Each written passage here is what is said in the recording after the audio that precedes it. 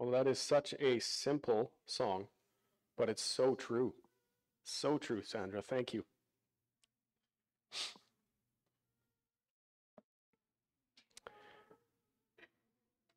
As we begin today, you can ch- turn in your Bibles to Luke chapter 24.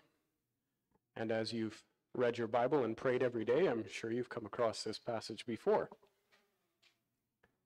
Luke chapter 24, we're going to start in verse 13 today. Let's begin with prayer. Father, thank you. Thank you for your amazing grace. Thank you for your Son.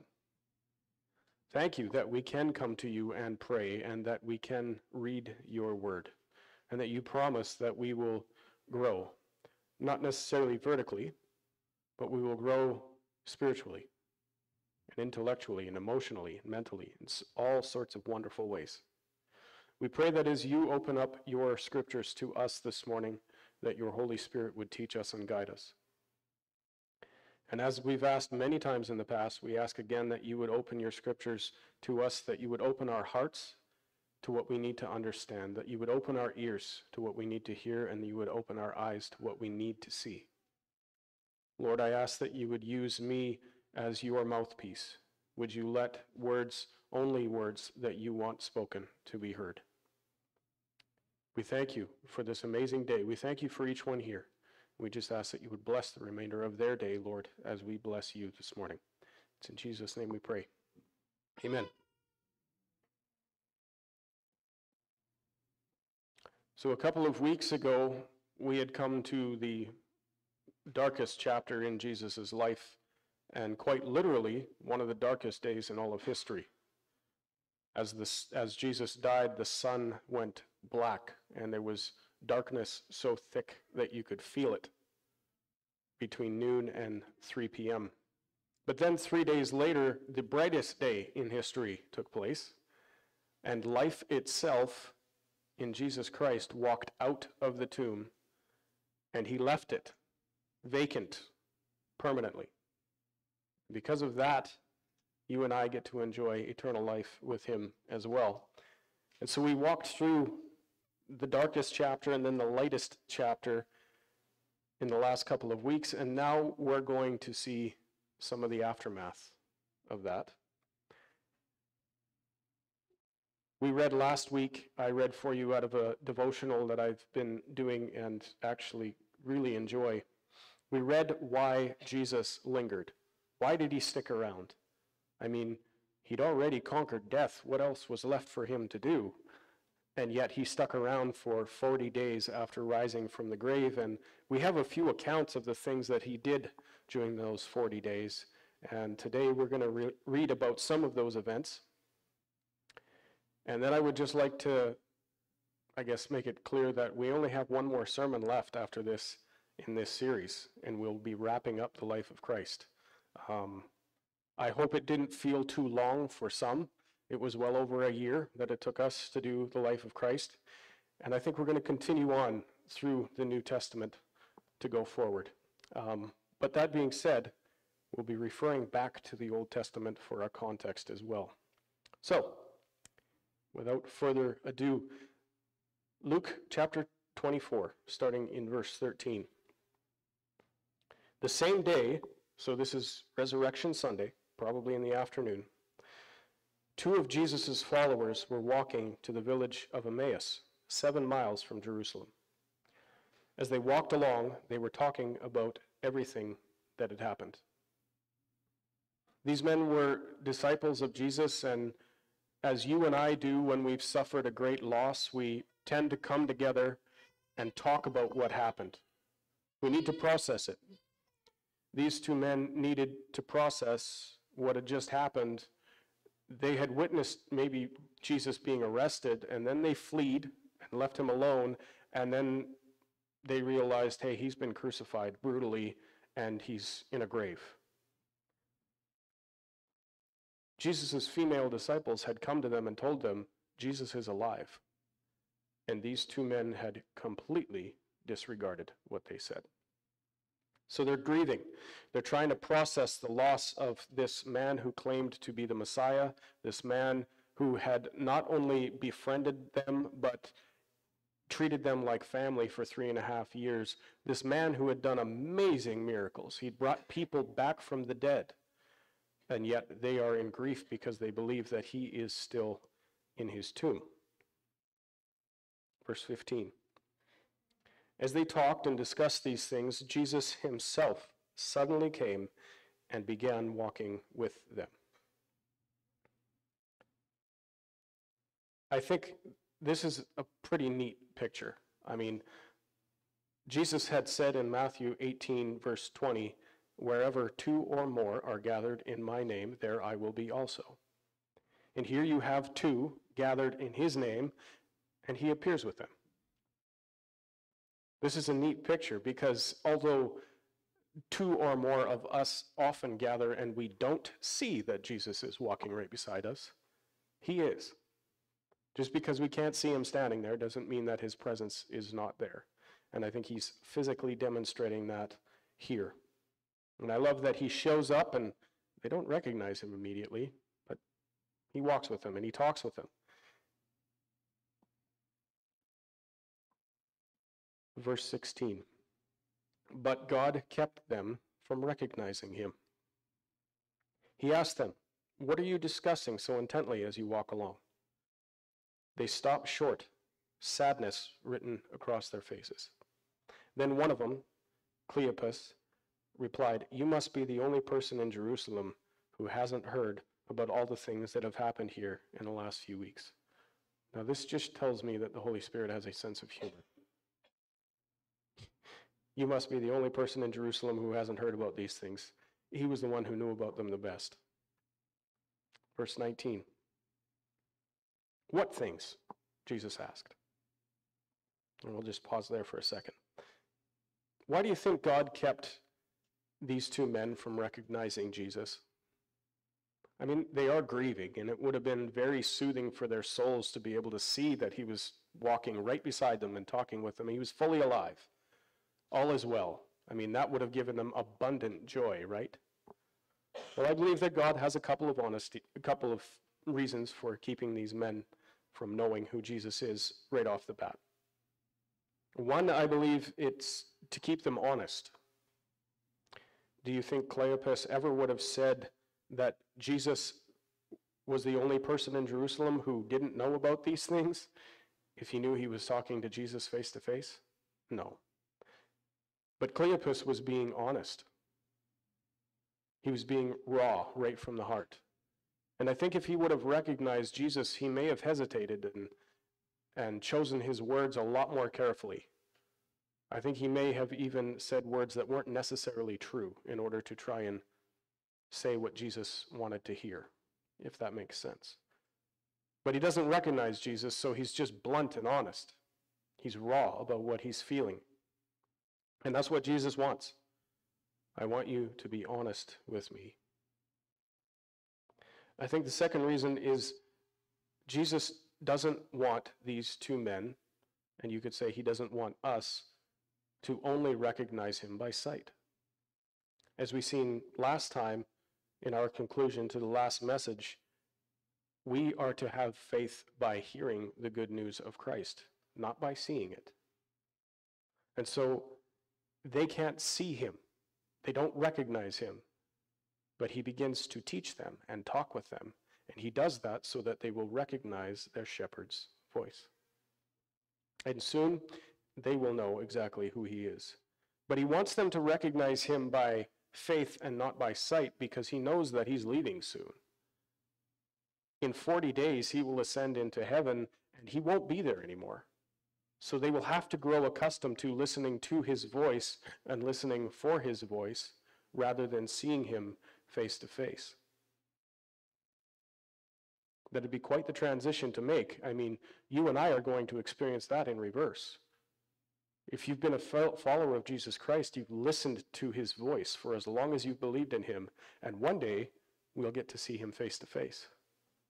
These disciples are experiencing the exact opposite. They've seen him face to face for three and a half years, and they're going to have to get used to listening for his voice. He wants them to get used to what he's revealing about himself with their ears. And Jesus is about to do one more thing, something that I wish I could have been there to listen to. He's going to reveal himself in all of the scriptures, starting with Moses and walking all the way through the prophets, the writings of wisdom, all of that. He's going to explain all of it to his disciples. What a conversation that must have been. So in verse 19 or 18, they had asked uh, or told Jesus that he hadn't heard about the things that have been happening the last few days, not knowing that it was him they were talking to. And Jesus replies, What things? I can picture a smirk on his face when he's asking that. The things that happened to Jesus, the man from Nazareth, they said. He was a prophet who did wonderful miracles. He was a mighty teacher in the eyes of God and all the people. But our priests and other religious leaders handed him over to be condemned to death, and they crucified him. We had hoped that he was the Messiah who had come to rescue Israel. And all of this happened three days ago. Then some women from our group of his followers were at his tomb early this morning, and they came back with an amazing report. They said his body was missing, and they said they had seen angels that told them Jesus was alive. Some of our men ran out to see, and sure enough, his body was gone, just as the women had said. Just notice in verse 24, the disciples are referring to Jesus in a past tense not a present tense.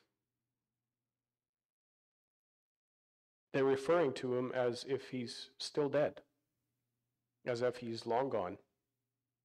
And they had completely disregarded what the women who had seen the empty tomb had reported to them. See, all of their lives, they were raised in Jewish homes with Jewish religion under Jewish scriptures, which we would call our Old Testament. And they had come to expect a glorious king. What they got was a crucified king. They didn't realize that Jesus is coming again in his glory later. I mean, we haven't even seen that yet. But they were expecting a glorified king and they got a crucified king. They expected the lion of Judah to come and conquer Rome and bring justice to the world and set up his kingdom forever. And what they got was the Lamb of God, who was slain for sins for the entire world. This is not what they expected. They expected him not to get killed at all. And the last time most of them had seen him, he was being arrested and led away to die.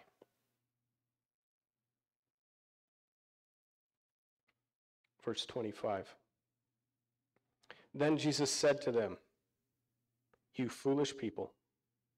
And I don't believe he said that with hate in his voice or um, frustration. I believe that he said that out of compassion for them, that they just did not understand their scriptures. You foolish people, you find it so hard to believe all the prophets wrote in the scriptures. All of it. Wasn't it clearly predicted that the Messiah would have to suffer all these things before entering his glory? And if you read through the Old Testament carefully, you will find that everything that Jesus went through, including his death, his beating, and his resurrection, is clearly predicted in the Old Testament. I think it goes to show that the disciples and their theology was based on things that they chose to believe here and there out of the scriptures. They had Dalmatian theology. They took this spot and they took this spot and they took this spot, the things that they like and the things that make sense, and the rest of it can just, uh, that's all white stuff that can stay off to the side. And I don't understand that or it doesn't seem relevant to me, so I'm just going to forget about it. But Jesus is making it clear to them this was all prophesied that it was going to happen, yet you're having a hard time actually believing what God told these prophets to write down for you to know. And I think I make the same mistake sometimes. When I come across something in the Bible that seems hard to believe, I just kind of put it on the shelf. Verse 27 Then Jesus took them through the writings of Moses and all the prophets, explaining from all the scriptures the things concerning himself. See, the problem was that they didn't believe all of the scriptures. They believed some, they believed portions and spots, like we discussed. But Jesus placed a very high value on the entire Word of God. In fact, during his ministry in these four Gospels that we've been reading out of for the last year, and more than that, he quotes the Old, Test- Old Testament 64 times. He quotes from and or alludes to 27 different Old Testament books. So Jesus had a love for all of Scripture. He quoted from all of God's Word. He held it at the highest value. So, what you're seeing here happening on the road to Emmaus is a conversation that was a Bible study with Jesus himself. Best Bible study ever. You would never find one better. There's no better teacher. Bible study with Jesus himself. He started pos- possibly with Genesis 3:15 as he explained God's curse on the serpent and on mankind. He explained that the woman would bear a seed that would crush the head of the serpent. He would have explained through the laws of Moses and carried on through the story of Abraham, the various fulfillments of sacrifice through Old Testament law, referring back to passages like Psalm 2, Psalm 22, Isaiah 9 that predicted his birth, Isaiah 53 that predicted his death, and everything in between. He explained it all. Can you imagine the Messiah himself unlocking the Old Testament for you? What an amazing conversation. I often wish that I was a fly on somebody's tunic for that conversation.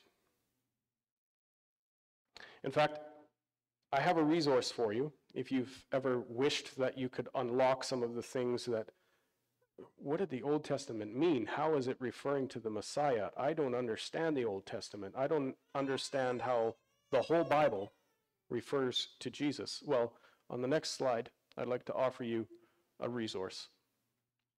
I bumped into this about six months ago. It's a three part series called The Mystery of Jesus from Genesis to Revelation. It's uh, by Thomas Horn, Donna Howell, and Allie Anderson, and you can find it on skywatchtv.com. But if you are serious about your own personal Bible study, if you want to know more about Jesus, not just from the four Gospels or just from the New Testament, but if you want to know him from the Old Testament, from the New Testament, and through that very challenging book we call Revelation, then I would suggest you order this series. Um, I, I'm not much of a reader without audio to go with it, and I still powered through this entire three book series in about two months. I couldn't put it down. Um, so if you have questions about who Jesus is in the Old Testament, um, I think this is as close as you're going to get to the conversation on the Emmaus Road that I've ever found. So if that interests you and you have more questions for me, I'd be happy to help you out finding that resource if you would like to have it.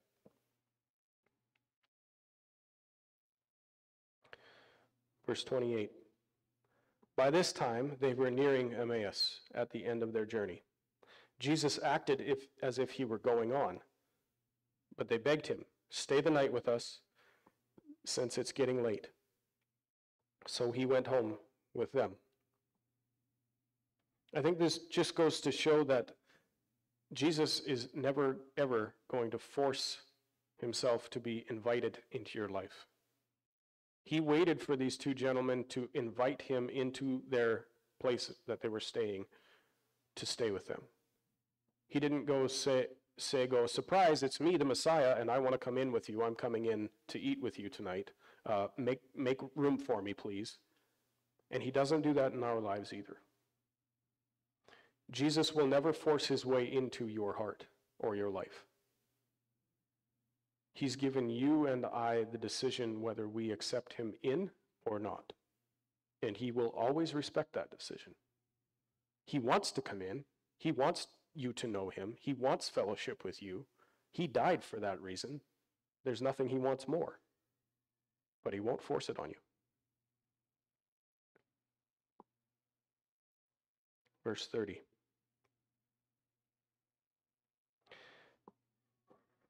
As they sat down to eat, he took the bread and blessed it. Then he broke it and gave it to them. Suddenly their eyes were opened, and they recognized him. And at that moment, he disappeared. Another case of God's sense of humor. He breaks the bread just as like he had done on that first communion on the Thursday night before he was betrayed. He breaks the ble- bread and he blesses it, and the disciples just, wow, it's Jesus. He's, he's right here. Hi, guys, bye. Poof, gone. I think that's God's sense of humor right there. But he does come back, he does appear to them again. Then they said to each other, Didn't our hearts burn within us as he talked with us on the road and explained the scriptures to us? Notice that scriptures do not say, Didn't our hearts burn when we looked at him, when we saw him?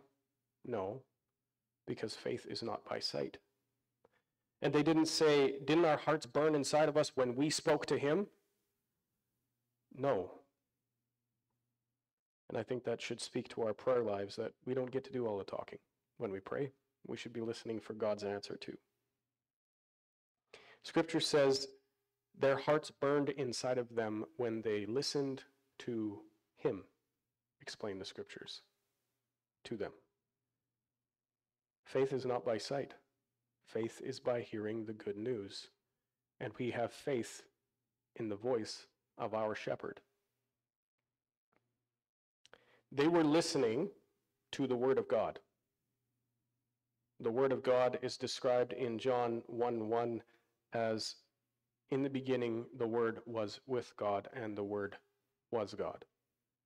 The Word of God itself had explained the Scriptures to these men. And I know I keep repeating that, but if you really think about it, what an amazing conversation that would have been. Imagine the kind of things that these two men went on to teach and how they shared the gospel with people. It would have been incredible to listening, listen to these men. Um, and in fact, if any one of them ever want to come and fill the pulpit here, more than welcome. I know they're not here.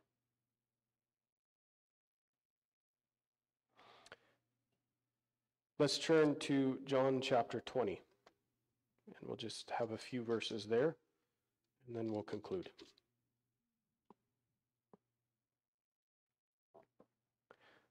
John chapter 20, we're going to start in verse 19.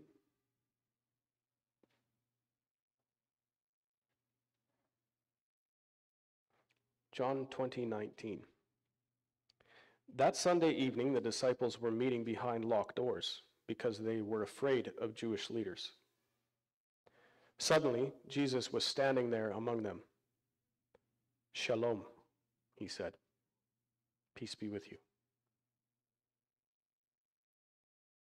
His first word to the disciples that had deserted him ran away and let him be tortured and killed. His first word was not, I can't believe you deserted me. His first words were not, You are a bunch of losers and you're really bad friends. I mean, he had every right to say that, but he didn't. His first word to them in Hebrew was shalom. And this is one of the main reasons that during VBS and other kids' times, I've wanted the kids to know that word, shalom. The shalom of Yeshua. The peace of Jesus be with you. Because we're all going to make mistakes in our Christian walk. We're all going to have times where we feel like we've deserted God and, and left Him on His own, which He's perfectly fine on His own. He doesn't need us. But we will feel like we've walked out on our faith or walked out on God or betrayed Him in some way. And I want to remind you and myself during those times when we're back in his presence and we seek him again, his first words to you are Shalom. Peace be with you.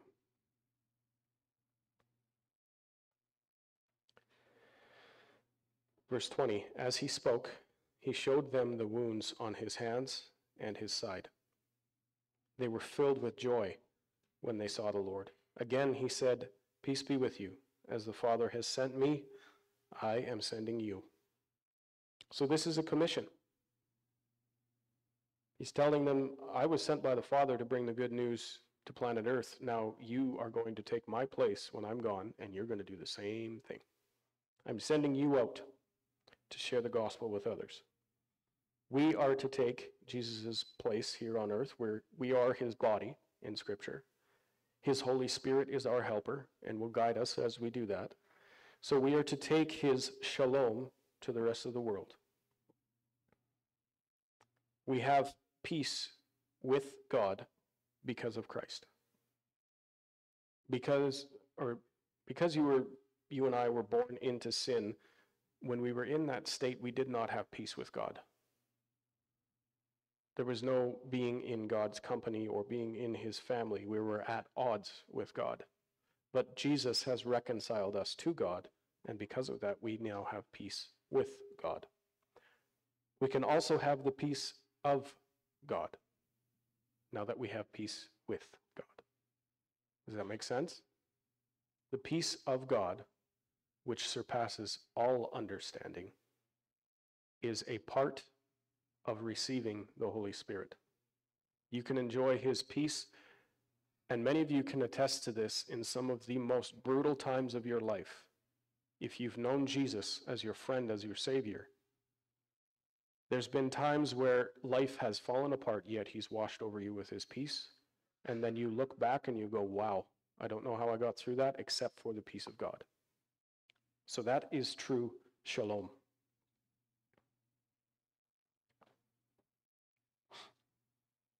Verse 22. Then he breathed on them and said, Receive the Holy Spirit. If you forgive anyone's sins, they are forgiven. If you do not forgive them, they are not forgiven.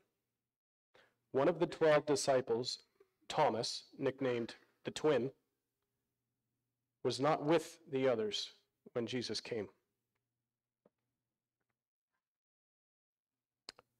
Thomas in Scripture kind of reminds me of Eeyore. You know Eeyore from Winnie the Pooh, the donkey. He's always got that little bit of a bummed out attitude, but he's also very, very honest. At one point in his ministry, Jesus had said, I believe it was, let's go up to Caesarea Philippi. That was the place where the gates of hell were, you know, that really, really scary demonic place that Jesus went to. You remember Thomas's response to that was, oh, sure, let's go and die with them while we're at it. Now that sounds like Eeyore, doesn't it? It's a little depressing, but, you know, at least he's honest. So Thomas was nicknamed the twin. But who is his twin? Maybe it's you or me. It's an interesting thought that Skip Heitzig brought up. Maybe I'm a twin with Judas. Maybe sometimes, well, more than sometimes, I have my doubts and my fears.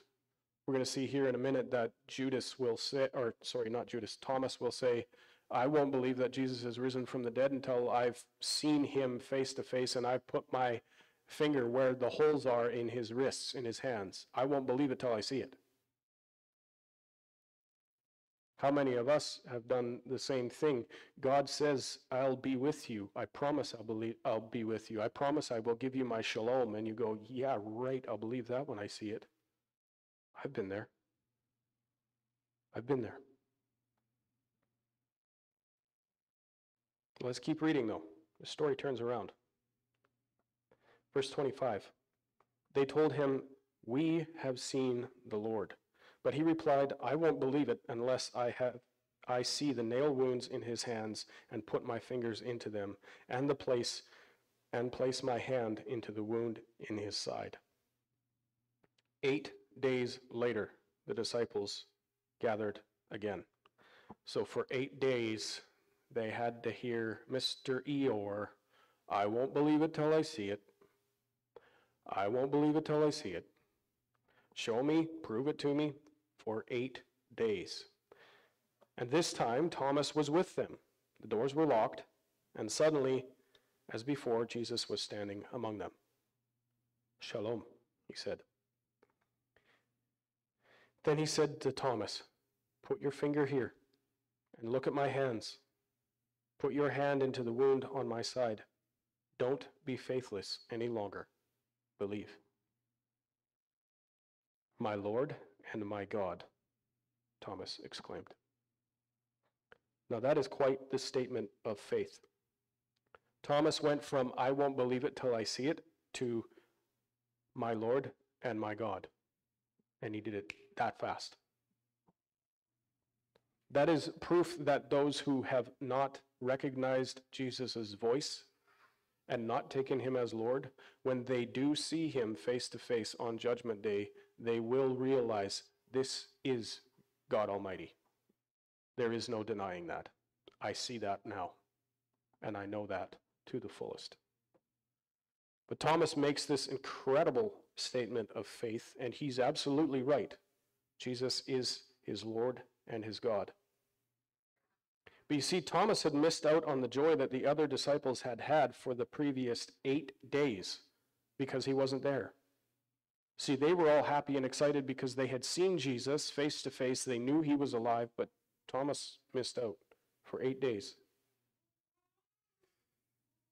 Unfellowshipped believers miss out on a lot.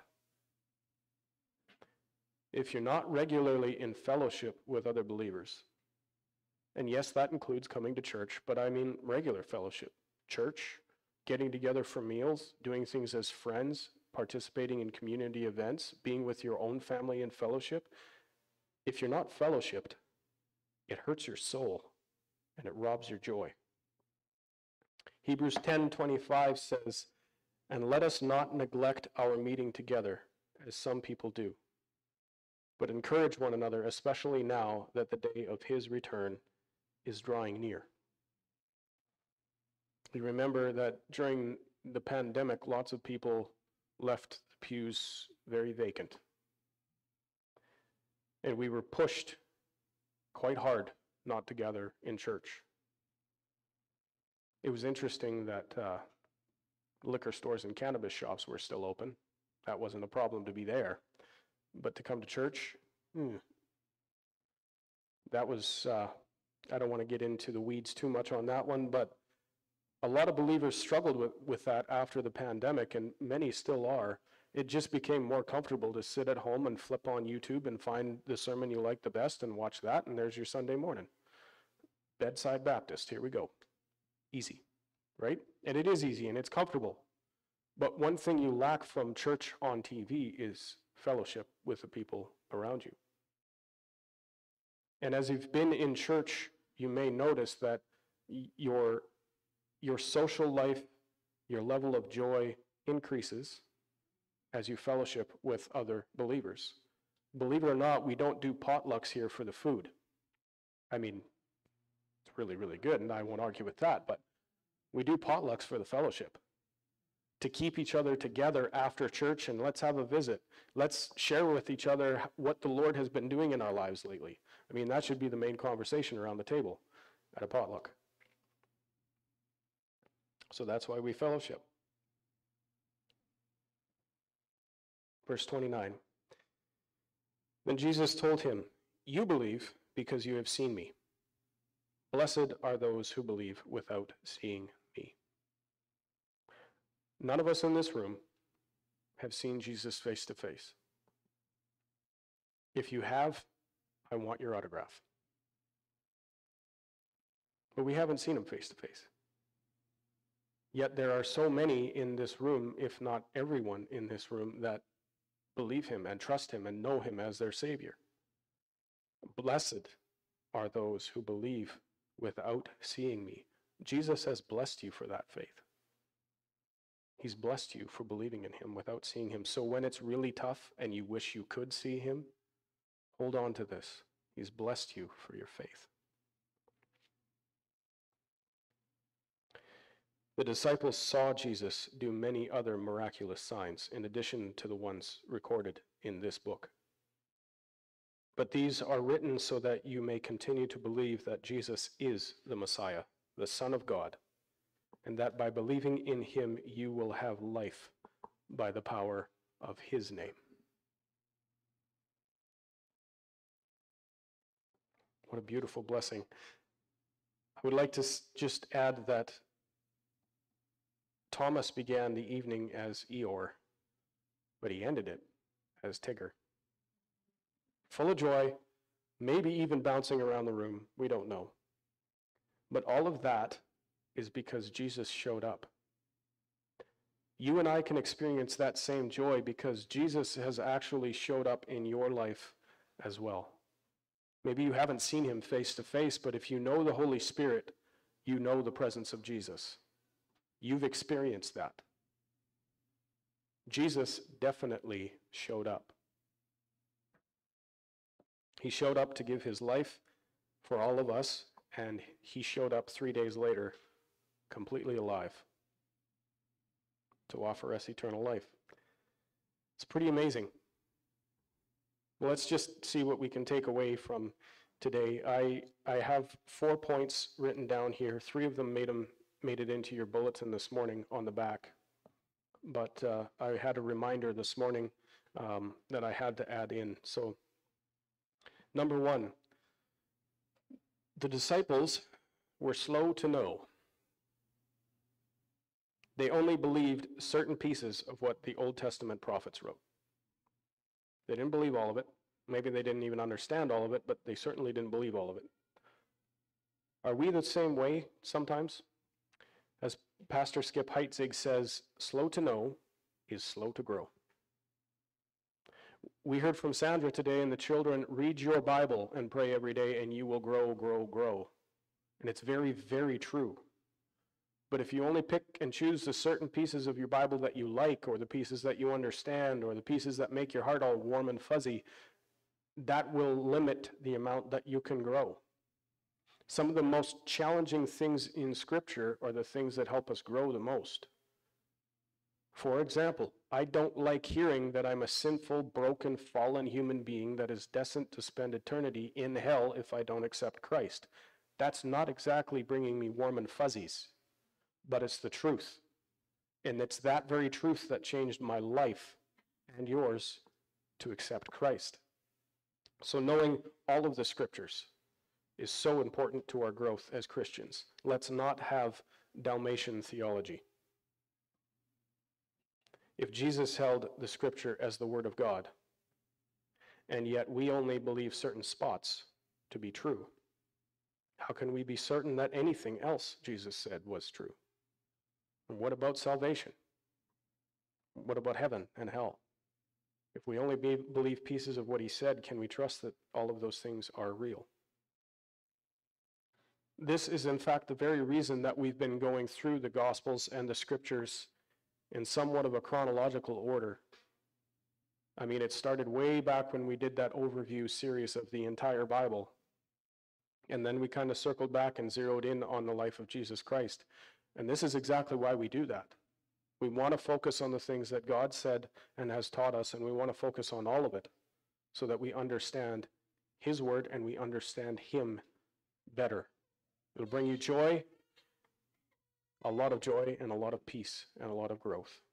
Number two, Jesus, just as Jesus had intended to go past Emmaus, he wasn't going to stay, but he accepted the disciples' invitation instead. He will never force your way into his way into your life. You see, Jesus is the perfect gentleman. He'll never force his way in. But he eagerly awaits your invitation. He will stand at the door and knock, and he will come in to be with whoever lets him in. But he will also stay out of your life if that's what you want. He will respect that decision. But let me just leave you with a question Is life without Jesus really a life at all?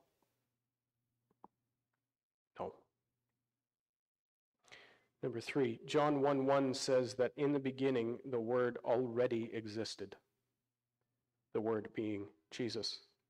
The Word was with God, and the Word was God. The hearts of the disciples burned within them as they listened to Yeshua, the Word, explain old and familiar truths with a new application. They were excited as Jesus explained the scriptures bit by bit to them. And maybe for the first time in their whole lives, it started to burn within them and come alive. And that is exactly what the Holy Spirit's work is in your heart. It's to bring the scriptures alive to you. I pray that God would give all of us this kind of spiritual heartburn. It's not a bad kind of heartburn, it's a healthy kind of heartburn. It's a heart that burns to know more about God. And then finally, number four, the one that uh, didn't make it to your bulletin. Next week, we're going to study the ascension of Jesus into heaven. And that will wrap up this part of the series. But the angels that were there with the disciples that day told the disciples that Jesus would return in the exact same way that he departed. He would come riding on the clouds. He would descend back down on Mount Zion when he returns, and he will. The question I have for you, and I want you to ponder this this week are you going, when he returns, when Jesus returns, are you going to see his face? Or are you going to see his back? If you see his face, that means you haven't been raptured and in heaven with him when the rapture occurs. If you see him coming face to face, that means he is bringing war on his enemies. Now, if you are going to see his back, that means you are a believer in Jesus, that you will have been raptured at that point and you will be returning with him. You understand what I mean? Jesus' second coming, he is coming to earth. But before that, he will come to the clouds to receive his bride unto himself. And that day is coming very, very soon. If you look at passages like Matthew 24, if you study the book of Daniel and Revelation, you will see that all of the things that Jesus himself listed that need to happen before his return are not only happening, but they are in re- re- increasing in intensity and scope. Everything that needs to happen for the return of Jesus is on the table right now. It's happening. I have some more resources for you if you'd like to look further into that, but the point that I'm making is we don't have a lot of time left to be reaching out to the lost in our world. And I'm not going to set a time because I don't know the time of the rapture. No one but the Father knows that time. But what I am saying is it's time to perk our ears up a little bit and pay attention. And I was reminded this morning, and I'm grateful for this reminder, even though it may not transition from our sermon very smoothly. I'm still grateful for it. Someone reminded me today just because someone has grown up in a Christian home, with Christian parents does not automatically make them a Christian. You are not automatically a Christ follower if your mom and dad are, or if your grandparents are, or your aunt and uncles, or even your siblings. God does not have grandchildren, He only has children. Your parents don't get to make that decision for you. In fact, God Himself doesn't even make that decision for you. You make that choice. So I wanted to challenge us this morning, and I, I guess this challenge goes out. I wish it could go out online, but that's okay too. Is your faith based in the fact that you go to church? Is your faith based in the fact that your parents believed in Jesus, or your family did, or your friends did? Or is your faith based on what you hear and what you know from your shepherd, Yeshua? Do you know the shalom of Yeshua personally. If you don't, I'm going to give you an opportunity to change that right now. I'd like to lead you in a word of prayer, and if you have not considered accepting the Lord until today, and I'd like to lead you in that prayer. You can follow me in your heart or out loud. Dear Jesus, I'm a sinner. I've done wrong things. And that has kept me separated from you. But on the cross, when you died, you took my sin and replaced it with your perfection. I want to thank you for that. And I accept your offer. I accept the Holy Spirit into my heart to guide my life. Thank you, Yeshua, for the shalom, the peace that only comes from you. And it's in Jesus' name I pray. Father, I want to thank you for each person here this morning. Thank you for giving us ears to understand and hearts to understand, minds to understand the things that you want us to hear. Help us as we go forward not to only have faith in the things that we see, but to trust the voice of our shepherd, the voice of Jesus. I pray that you would be blessed this morning, Father, above all else, that all credit and glory would go to you. Father, we love you, and we thank you so much, Jesus, for coming to make the sacrifice that you did and rising from the grave. Holy Spirit, we want to thank you for guiding us. We pray that you would be with us for the remainder of our week. It's in Jesus' precious name we pray. Amen. And let's remember from John chapter 20, verse 29 Blessed are those who believe without seeing me.